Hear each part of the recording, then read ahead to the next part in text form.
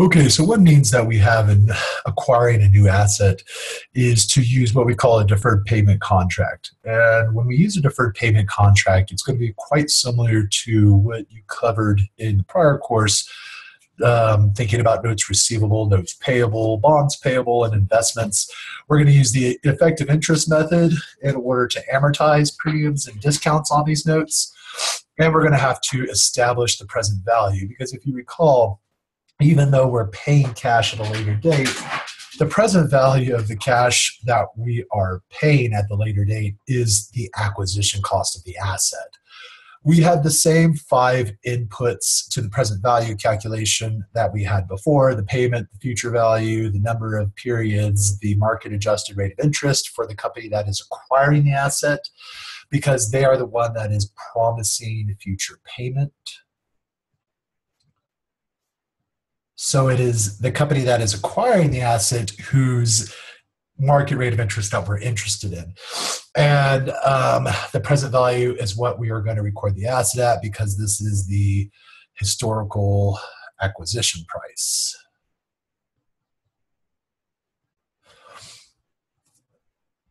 So let's look at an example of a note. It's going to exercise some of the skills that you developed in Intermediate 1.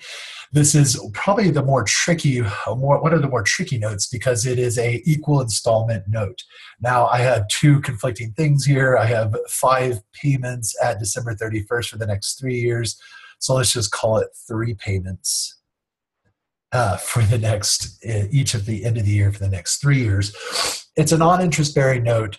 So we don't have a stated payment. We don't have a, our payments um, are going to be zero, except that we do have a payment that occurs at each December year end. So we do have an annuity.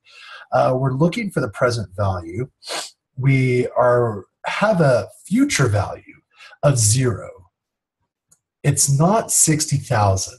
60,000 would be the face value, but we're solving for the future value in this instance. The payments are 20,000. They occur at the end of each year for 3 years we have an interest rate of 7%, and the number of years then would be three. So if you put all this into your present value calculator, you're going to get a present value of $52,486, and that would be our present value. So then when you go to record the uh, equipment, you want to record the equipment at that cash equivalent present value you don't want to worry about the 60,000 because that's a future value. The 60,000, I uh, mean, sorry, not the 60,000 being a future value, the 60,000 is really the face value.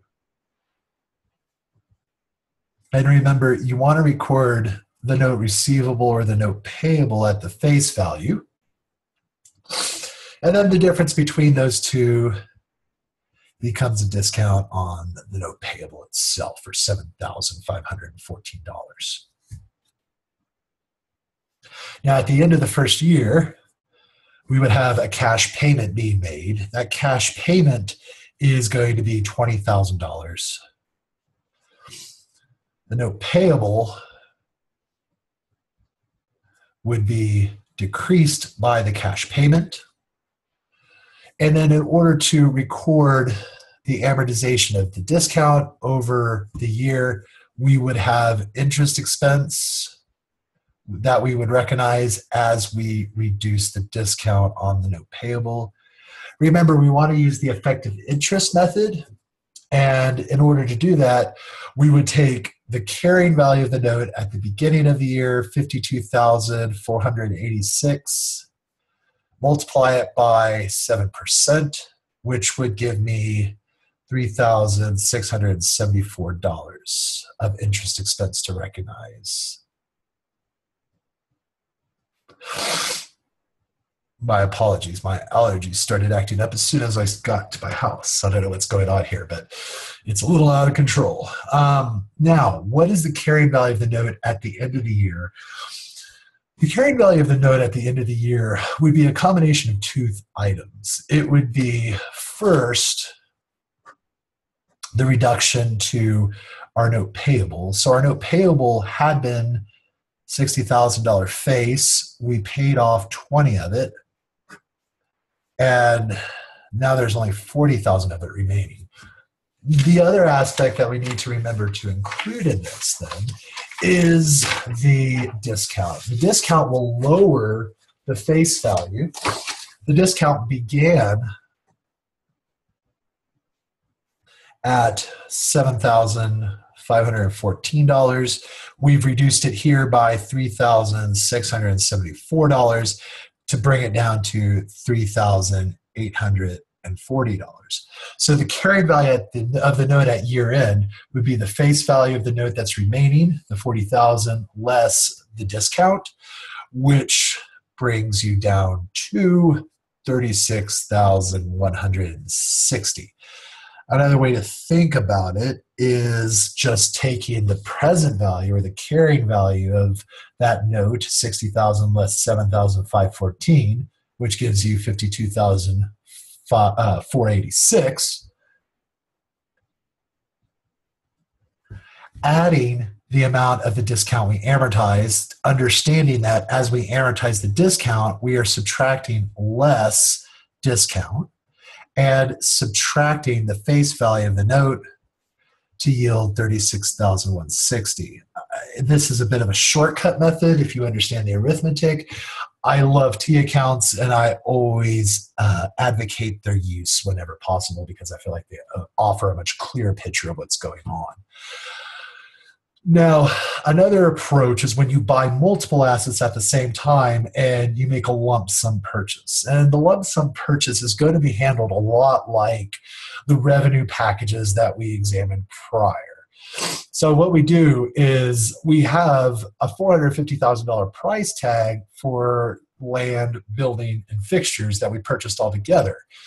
Now, we bought them all for $450,000, and perhaps we had an independent appraisal show us, you know, what are the fair market value of these items. So their standalone prices would have been 100,000 for a land, 350 for the building, 50,000 for the fixtures, which is a total of 500,000.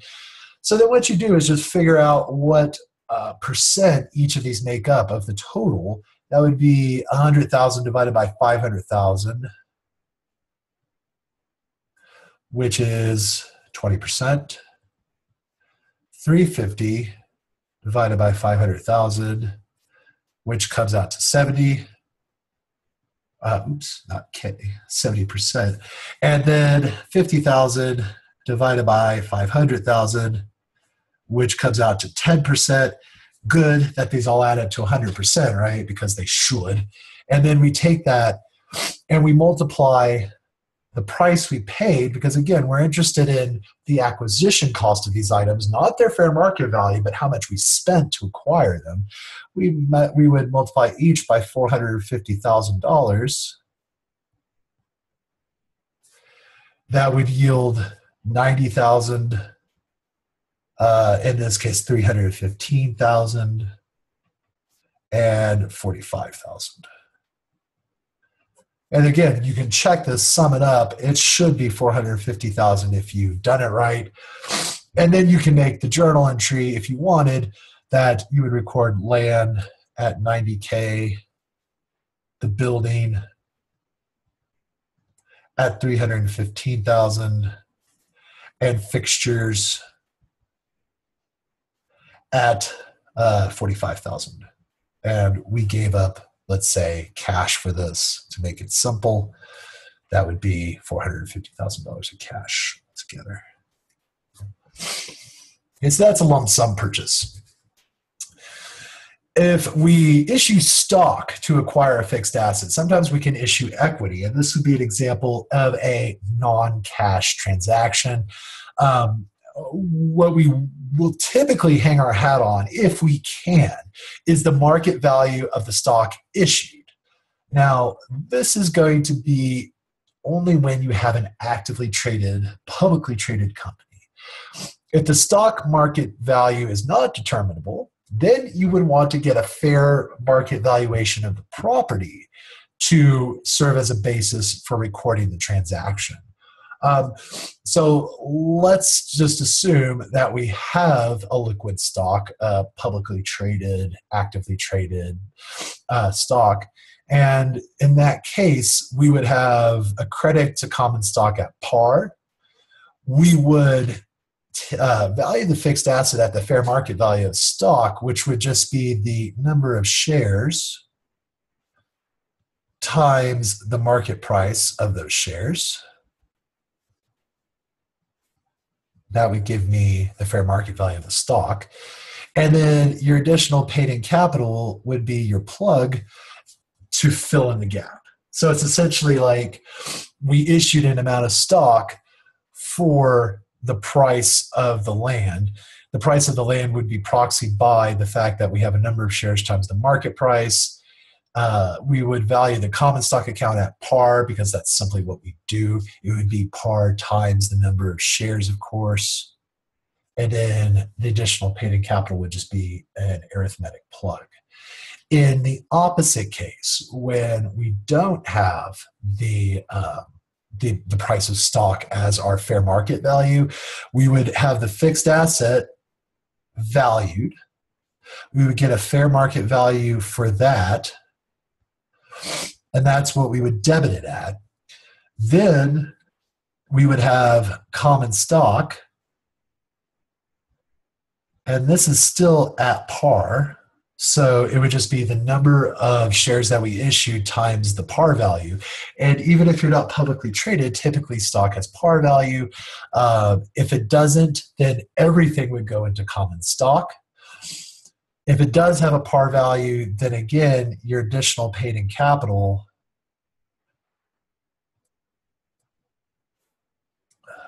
is going to be the plug.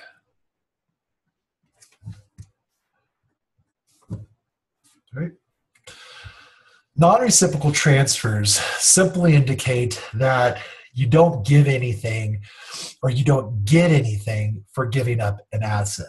Okay, so we either have a non reciprocal transfer into the company because we have a donation or a contribution, or we give something um, that would be a disposition. We'll talk about that in a second. But this occurs just from donations when our, for example, say our company gets something. Um, for the acquisition, we would want to use the fair market value of the asset in order to record this. And the corresponding credit would be what we call contribution revenue. Um, it's a non operating revenue event. So, would it go in our operating revenues or our operating expenses? It would be a non operating item. And if it's a donation, the flip side of this, then we would record a contribution expense. But the idea, of course, is here that we want the fair market value of the asset that we recorded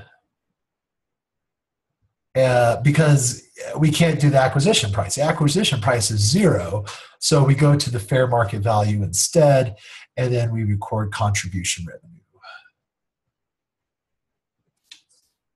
for the same amount.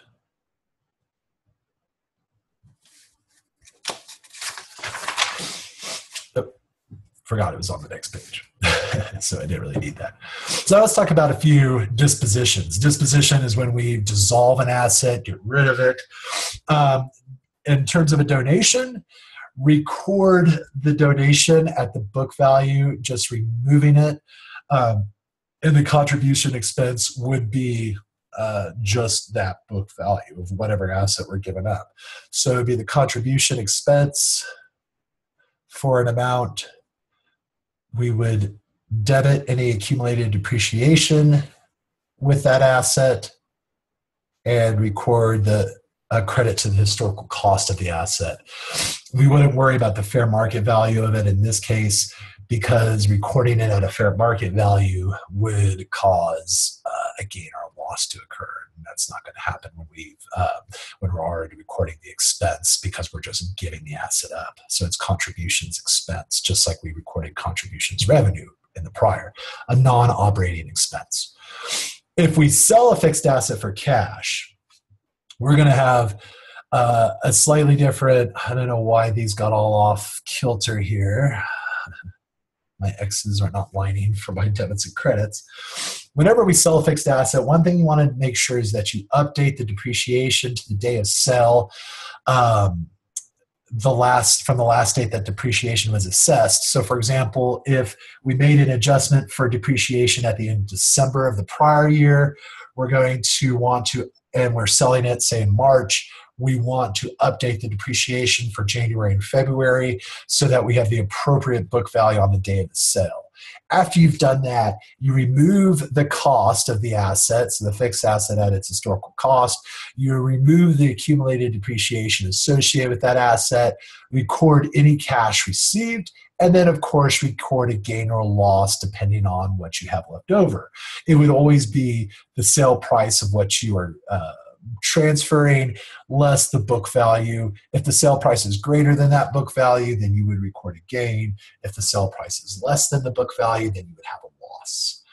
Sometimes we have what we call an involuntary conversion. This is just when something happens, fire theft, fire theft, flood.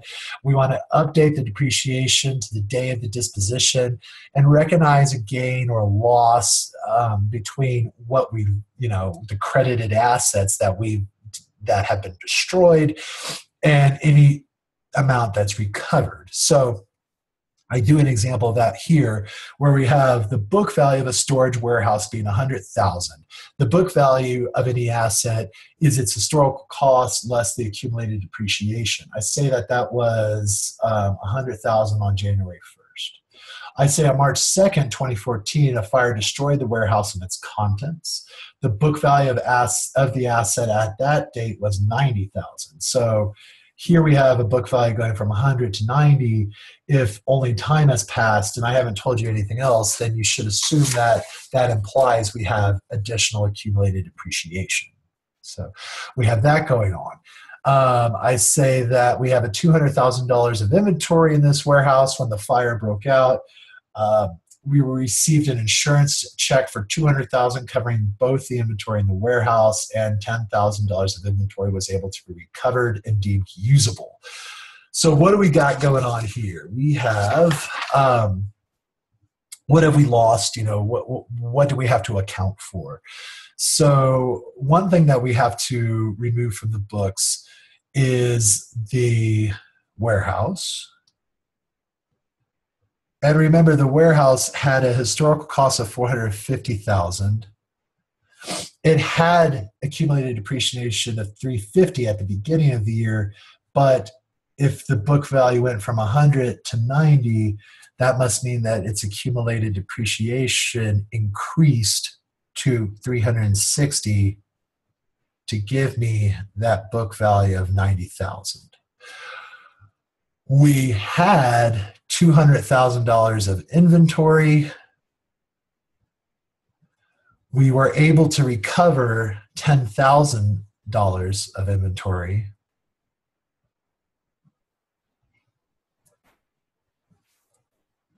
And so that yields $190,000 of inventory lost. We also got a check. So then what we want to do is just create a journal entry that would show the loss of the warehouse, the loss of the inventory. We would credit the warehouse for its historical cost of $450,000. We would want to debit all of the accumulated depreciation associated with the warehouse that would be 360,000. So we've now effectively removed the book value of 90,000. We would want to reduce my inventory account by 190,000 and record cash because we received an insurance check of 200,000. So we didn't get everything, but we did get some money back. And now we have to decide well, do we have a gain or loss on the transaction? By the way that I wrote the journal entry, you can assume it's a loss. So this, of course, would be 640,000. Here we have 560. And so we have a loss uh, from fire. This would have probably one time qualified as an extraordinary item as long as fires were not prevalent in the area, but we no longer record extraordinary items. So this would simply be a non operating loss. Unless, you know, fires were just a part of the ongoing operations of the firm, right? And then it would be an expense, an operating expense, but that's just not, that's just being stupid. All right. So let's talk about exchanges, assets for assets. This is a non monetary exchange, and assets for assets have a lot of rules if you try to memorize them all, you're probably not going to succeed here. It's going to be, or if you do, it's going to be a lot more painful than it needs to be. I'm just going to line up my X's down here, doing nothing. they just got all wonky again from cutting and pasting them. I'm not sure exactly why. Um, so when we exchange one asset for another asset, the rule of thumb is we want to record the new fixed asset at the fair market of the fair market value of the asset we're giving up, the old asset. So that's the asset we are giving up. Or the fair market value of the new asset, the asset that we are receiving, whichever is easier to determine. Um, now, when we do this, if we're using the fair market value of the old asset to value the new asset, then we have to consider whether we exchange any cash for that asset. So if we exchange some cash for that asset, it's going to affect the value of the new asset. So, for example, if I give you an asset and I have to give you $1,000 on top of that, what does that mean about the value of what you're giving me? It means essentially that your asset is worth my old asset plus $1,000. So if we pay cash as part of the transaction, we have to add that cash paid to the old fair market value, right? If I'm giving you my car, it, um, you, if I'm giving you my car at $1,000 and you're giving me just your car in exchange, that means your car essentially is worth my car plus the $1,000, right? So I would value what I got your car at the price of my old car plus the $1,000 that I gave up. If we receive cash, the opposite logic applies, right? If we receive cash, then that means that what I am getting is worth less than what I'm giving up if I'm giving you my car and in order to make the transaction palatable to me, you give me your car plus a thousand, that means my car's worth more. So in order to value what I've gotten from you, I would take the value of my old car and subtract a thousand dollars. If we're going by the fair market value of the new fixed asset, then we don't worry about what we've paid or received in cash. We can just record the exchange at the value of the new fixed asset. So that's the first part, valuing the new fixed asset. Now, calculating a gain or loss on exchange, let me tell you, the gain or loss on exchange is solely dependent on the old fixed asset has absolutely nothing to do with the new fixed asset. So I can give you a problem and not tell you anything about a new fixed asset.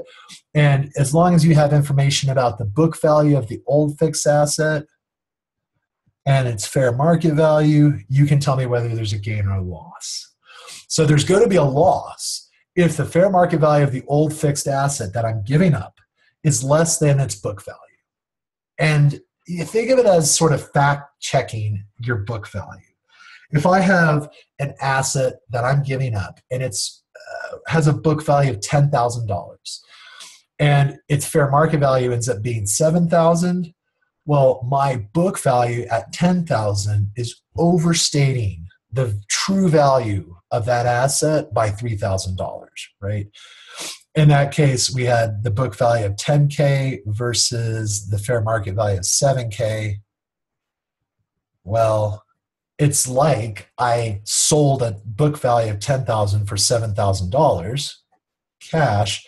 That results in a $3,000 loss. Right? Anytime that you have a loss or anytime this occurs, with an exchange. You record the loss regardless of what happens, regardless of any other facts. Now, it's the opposite case for a gain. If the book value is less than the fair market value, then it's as if I'm trading my car and its fair market value is 13,000, well then I can record a $3,000 gain. Now, whether I record this gain becomes dependent on a couple of things. Whether we have commercial substance, if we have commercial substance, then we can recognize the gain. What is commercial substance? It simply means that the future cash flows of our business are going to change based on the exchange we just made. If no, then you have to ask a second question Was cash paid or received? If cash was paid, no gain. If cash was received, then yes, at least some gain. And we're going to look at that more in just a second, but that's the basic fallout. We record a gain if there's commercial substance, regardless. So if the future cash flows are going to change because of the exchange, we want to record this $3,000 gain. If their future cash flows are not going to change, we don't have commercial substance, then we have to assess whether we paid cash. If we paid some cash, think of it as a losing proposition. Um, it's not 100% solid intuition, but it works to some degree. No gain. If we receive some cash, then we do have some gain. We do have some financial flow coming in. And so we can record at least some gain and I'll tell you how we determine whether we're going to record all of it or some of it. So this is a very large template. It's almost too confusing. I almost want to take it out because I feel like it intimidates people. But um, uh, you know, part of it is that you know I either debit cash if I receive some boot or receive it in the transaction, or I credit cash. Not both are both are not going to happen and I'm either going to have a gain or a loss. I'm not going to have both. It just depends on the fair market value of the old asset versus the book value of the old asset. Okay. So we're going to use the fair market value of the assets unless something occurs. Like I said up here, we're going to use the fair market value of the old asset or the new asset, whichever one is more determinable. The only time we're going to not follow this rule is if the fair value of neither the asset received nor given up is determinable. That's rare. The exchange transaction is used to facilitate a sale to customers, common in certain industries. So think about when you go to buy a car, you don't like the color on the lot, and they say, well, we can bring one in from another dealer, they can trade to, but this is just a facilitative sale this is not really changing the future cash flows. Yes, I understand it's facilitating a sale, um, so they will make the sale, but it's not considered commercial substance. And if the exchange lacks commercial substance, so if we don't have a change in the future cash flows, we wanted to use the fair market value unless one of these occurs. If one of these does occur, then we base the new fixed asset, that's what the FA is, it might not be readily um, identifiable, on the book value of the old fixed asset and then subtract any boot that we pay, um, or I'm sorry, add any boot that we've paid or subtract any boot we've received. Okay.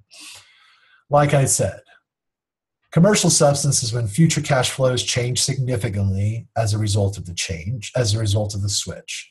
We recognize all losses and all gains when there is commercial substance because that service life difference indicates commercial substance and then we go into this rubric of understanding when to re- when to record a gain we always recognize a loss even when there is no commercial substance um, if no cash is exchanged no gain is recorded if we pay cash no gain if we receive some cash we decide what is the amount of cash in proportion to everything we received. Okay, we calculate this ratio.